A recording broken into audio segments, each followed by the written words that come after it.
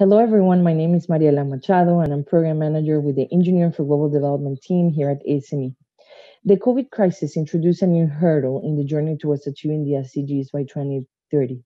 It also forced the global development community to consider what we were planning to do differently in this decade of action to actually ensure the delivery in the con- context of future crises, such as climate change and what are the opportunities and, and are for the engineering community as a part of this international mobilization for the SDGs.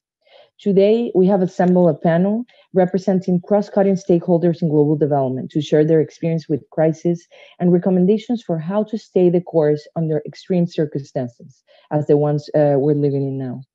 We will hear from an UN agency with boots on the ground, an infrastructure firm delivering solutions for resiliency, and lessons learned from regional responses in Kenya and South Korea.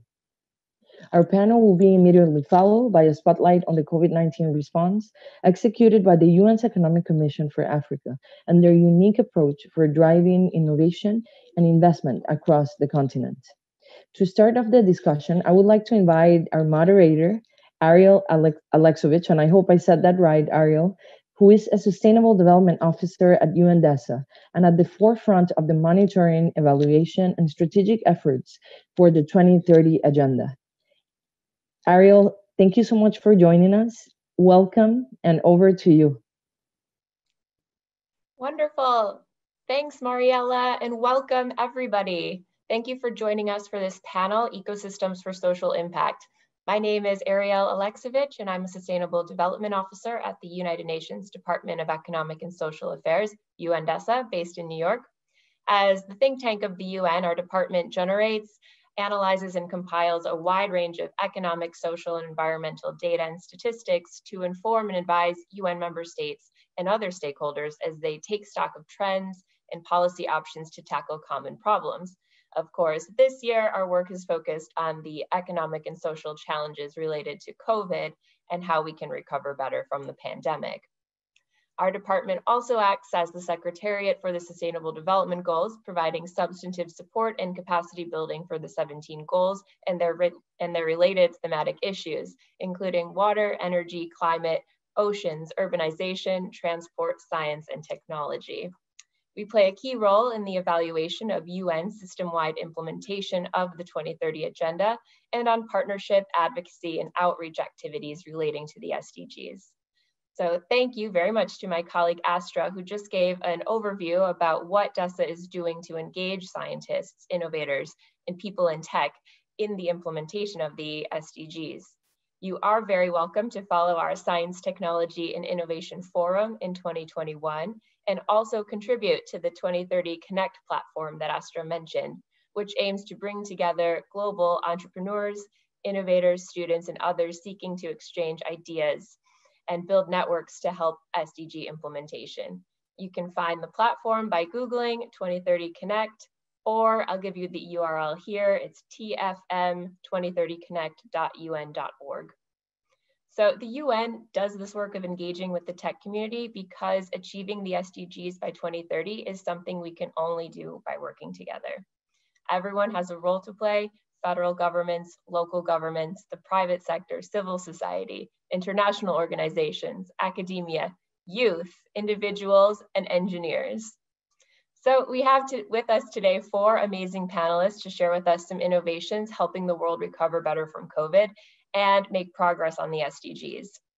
We have Siddharth Chatterjee, the UN resident coordinator for Kenya.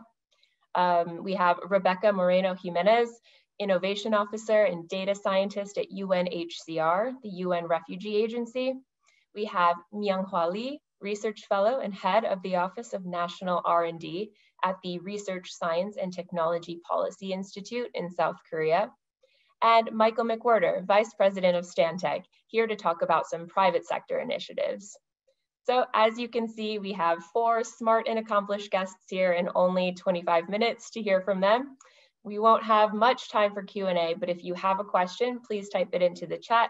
If nothing else, we'll share them with the panelists and get their responses so they can be incorporated into the final document for this event. So let's dive right in. All right, with our all-star lineup here representing governments, the private sector, and different parts of the UN, I would love to hear from each of you about how you or your organizations are using science, technology, and innovation to aid the COVID efforts where you are. So maybe let's hear from Sid first. What are you seeing on the ground in Africa? To me, thank you for that question. And to me, Africa in many ways epitomizes what the future market looks like. By 2050, this is a continent which will have 2.3 billion people, of which 850 million will be young people. So it is going to be a market of consumers and producers. But how do we get them there? So the SDGs, to me, is the roadmap of the Africa's Marshall Plan.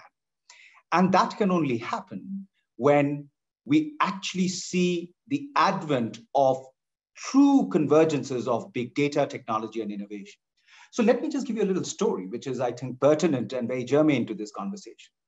Back in 2014, I used to be the head of the UN Population Fund, and there were six counties of the 47 counties in Kenya, which had the highest maternal mortality ratios in, the, in, in Kenya, but as a result of which, Kenya got held back in achieving, if you recall, the Millennium Development Goal number five, which was about ensuring that there was 170 deaths per 100,000 live births or lower.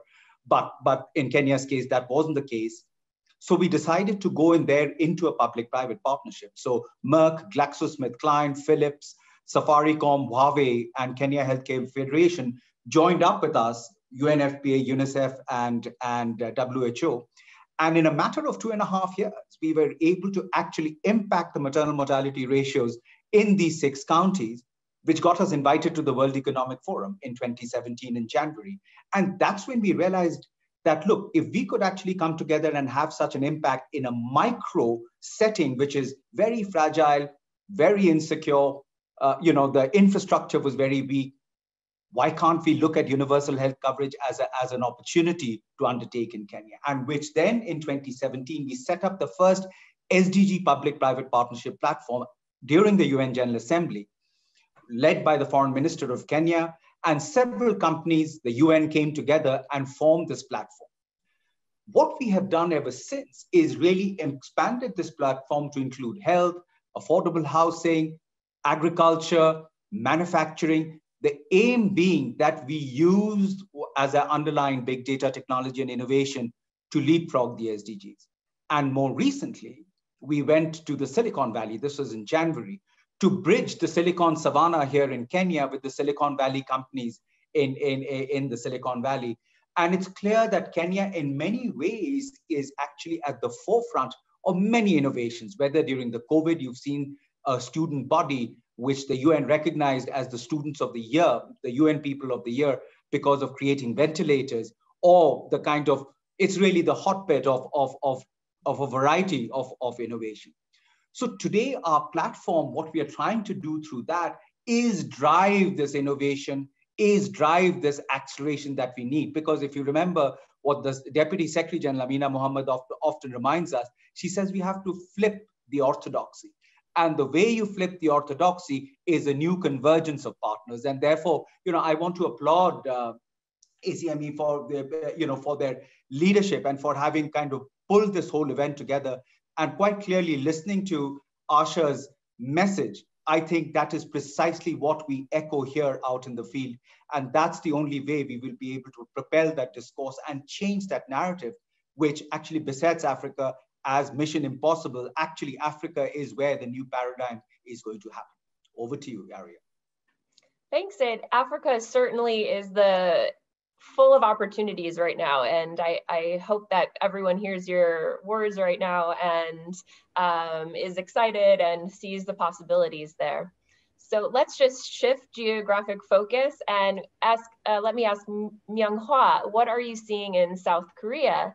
Uh, Asia, of course, has been a place where the worst effects of COVID have already been minimized to a large degree, but um, how, how are you or your organization using tech, science, innovation to aid the COVID efforts? Um, thank you, Ariel. Um, I'm happy to share Korea's experience. In Korea, uh, science and technology played a critical role in quite successfully responding to COVID-19.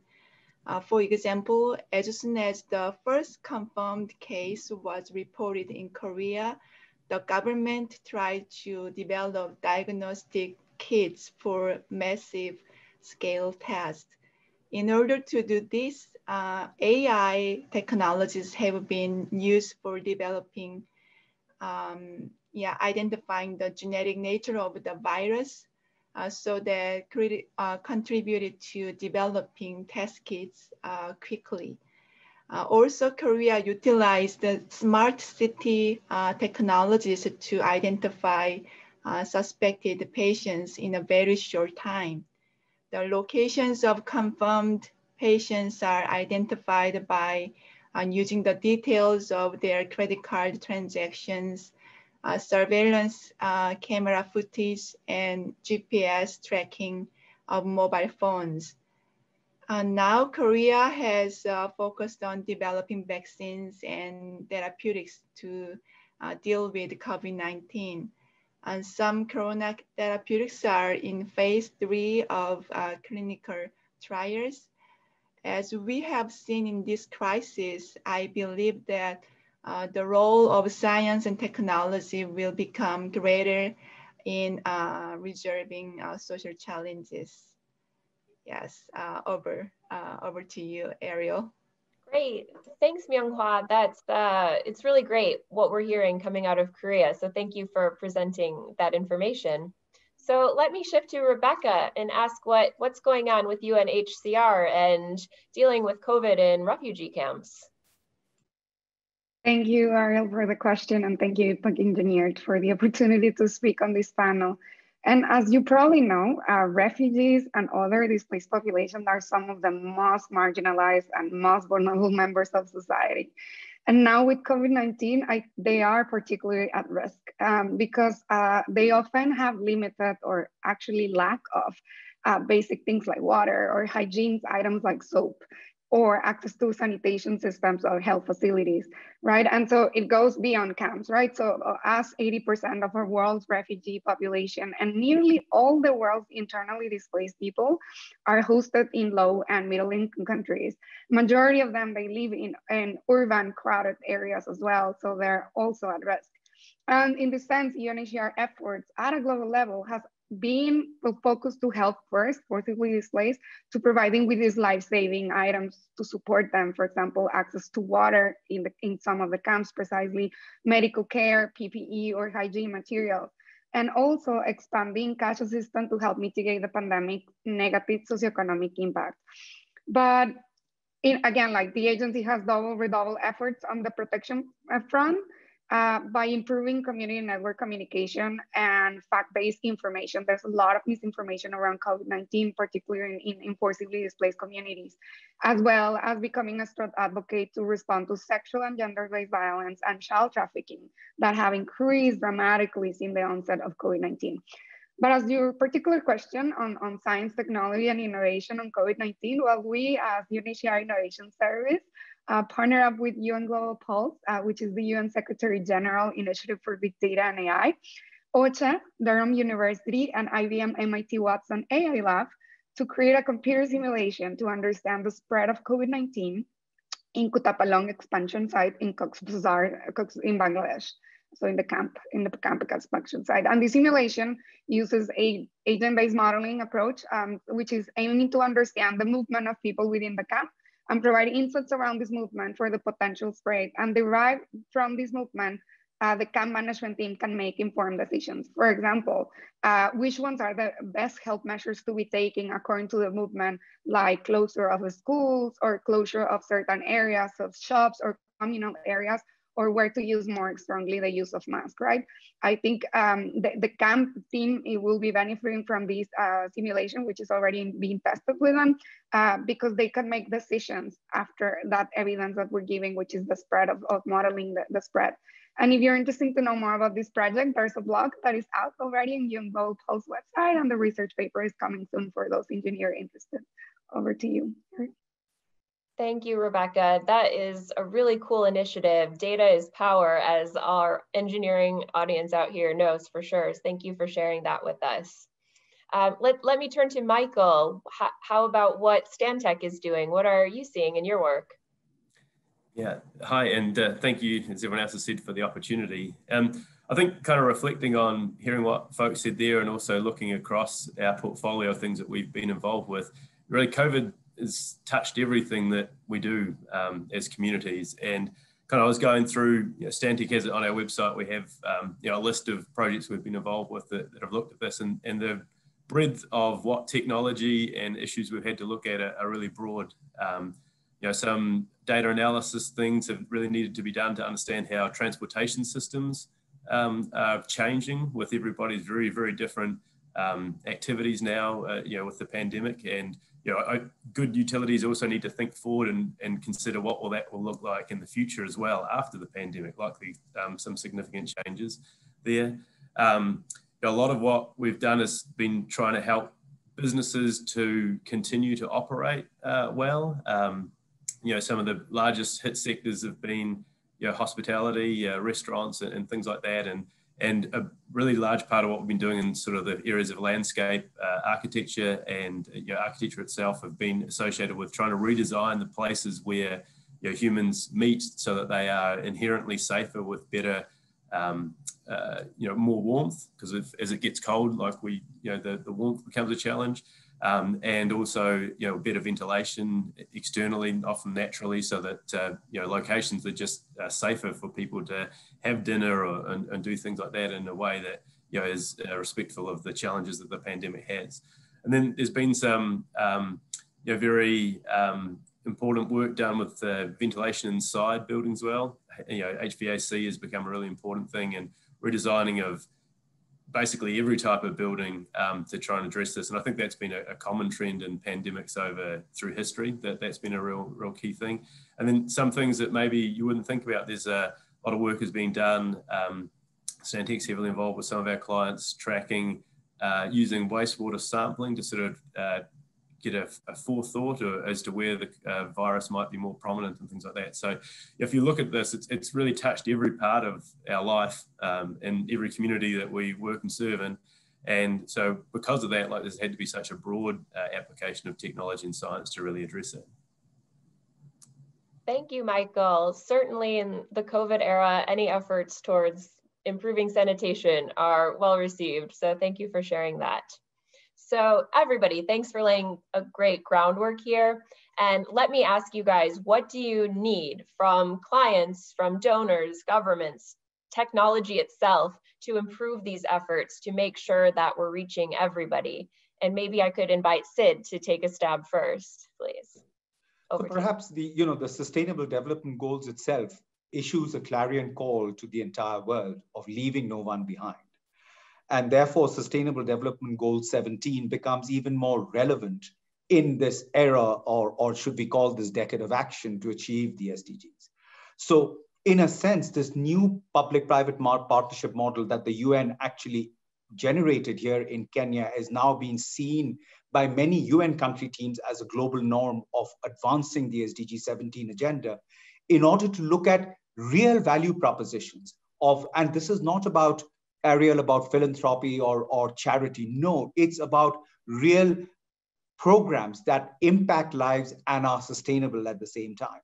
And that is why what we need is what I call the harnessing of big data technology and innovation to look at this, this gigantic shift in the way we need to advance the entire growth and advancement of Africa, particularly, which I'm interested in, in terms of the sustainable development goals. Over to you. Yeah, um, I think that that really shows that we need more partnerships that can also uh, connect everybody together to to improve these efforts. Maybe I'll ask Rebecca from the refugee side, uh, and what can happen more to to reach these vulnerable people. Thank you, Ariel. Well, first, to, keep up with the continued support and partnerships to tackle now what we call the double challenge now for displacement as a challenge um, and the global pandemic as well as a challenge. Um, now more than ever, I think we need the interdisciplinary approach uh, to solve global problems now. Uh, I think as the project, as I mentioned, uh, in this project, we have social scientists, public health specialists, epidemiologists, computer scientists, data engineers, and education and shelter specialists just to design that simulation. And if it's just a computer simulation, it's just one problem and one project, but that could actually lay the ground on a lot of more complex solutions that we can help those who are forcibly displaced in camps, in urban areas, wherever they're located. Uh, and then also we welcome those efforts, especially those who are focused on social impact, that they have this interdisciplinary approach and that they're human-centered based.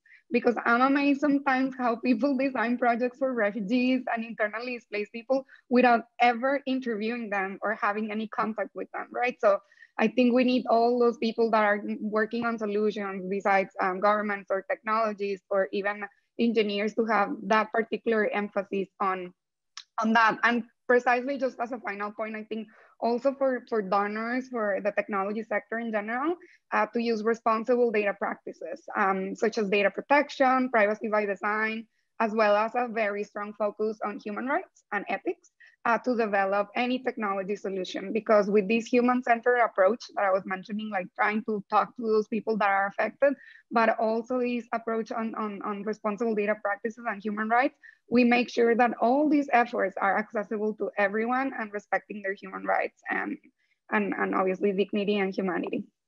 Thank you, over to you, Ari. Thanks, Rebecca. That's so important. Humans, humans first, people first in policies and when um, thinking about next steps and solutions.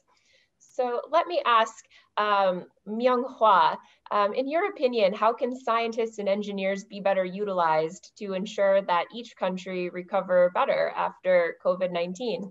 You know, of course, ensuring the social and environmental protections and putting us on a good path as we continue down this decade of action for SDGs.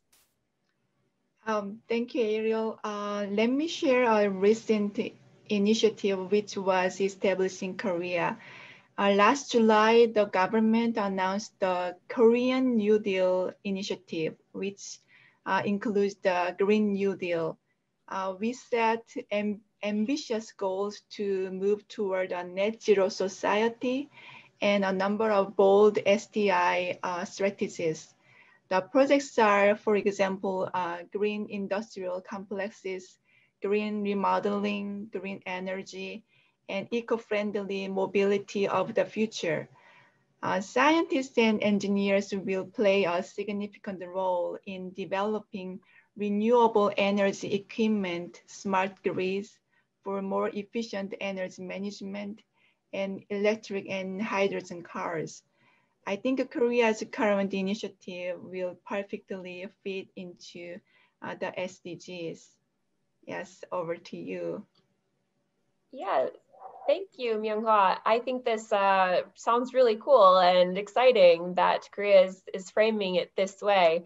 Um, its recovery, it kind of reminds me, our UN Secretary General has talked about something called a new social contract that is trying to integrate employment, sustainable development, and social protections. So it's great to see um, a government uh, stepping up to take that on. Um, so let me go to Michael. Um, Michael, how do you think engineers and scientists can be better utilized in these efforts? Yeah, I mean, I think um, something that struck you, know me personally and, and, us as a company at the start of this was was the speed of what had to happen, and I think there's been a lot of examples of that. You know, the, the great developments with vaccines is something that I think everybody in the world is excited about. Um, and and but speed has been really important. Adaptability it was a challenge that literally, I mean, we were all sitting there thinking about what February was like, and we had no idea uh, what was going to happen, um, or what was happening at that time, and, and, how our lives were going to change so quickly. And I think you know, many situations, this you know, we were able to respond as a as a species even very quickly um, to that. You know, we had um, I was looking back on some work that that we did, like you know there were hospitals that needed to instantly change, um, and you know we had design teams that worked on things like that and, and made those changes literally in, in, in hours uh, to, for designs things that we might have thought about for, for weeks and months before. So I think that, that speed is really important. I think we have many um, you know technologies obviously which support that now. And I think to answer the, the question, so we have these challenges that come to us. We have challenges right now that come to us. What can we do best with science? Like it's about really quickly sharing the great ideas that we have part of innovation is, um, you know, a good idea that turns up in one place. We need to get that everywhere. And I think, you know, people who uh, work as engineers and scientists and things like that, we, we have networks and using those networks and the technology that's available to us, we can share quickly ideas that are solutions. And you know, around the world, it's been proven that, that science and technology and, and a following of, of what they tell us is really the, the key to, to beating coronavirus. And uh, I think if we keep that up with our personal networks and make use of what's there and quickly share information, that, that is what we can do to best uh, create impact. Thank you, Michael. Absolutely. I mean, looking ahead to 2021, the hot topic will inevitably be COVID-19 vaccine rollout. So thank you for touching on that. Um, scientists put down a big challenge for engineers with a lot of these vaccines needing cold storage and mass distribution. So thanks for telling us that speed is uh, what we need. And, uh, you know, we need all these engineers working towards this effort. Uh, but unfortunately, I think that's all the time we have. I would like to thank our panelists again for the insights that they've shared today. If you would like to learn more about the Sustainable Development Goals and ways for your organization to be more involved or you individually, please visit sdgs.un.org. Thank you very, very much for joining us and enjoy the rest of the conference.